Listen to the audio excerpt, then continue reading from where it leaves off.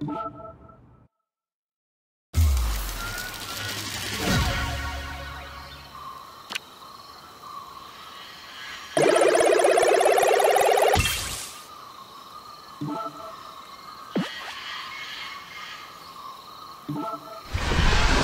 encontramos! ¡Rápido! ¡Darla! ¡El empequeñetrón!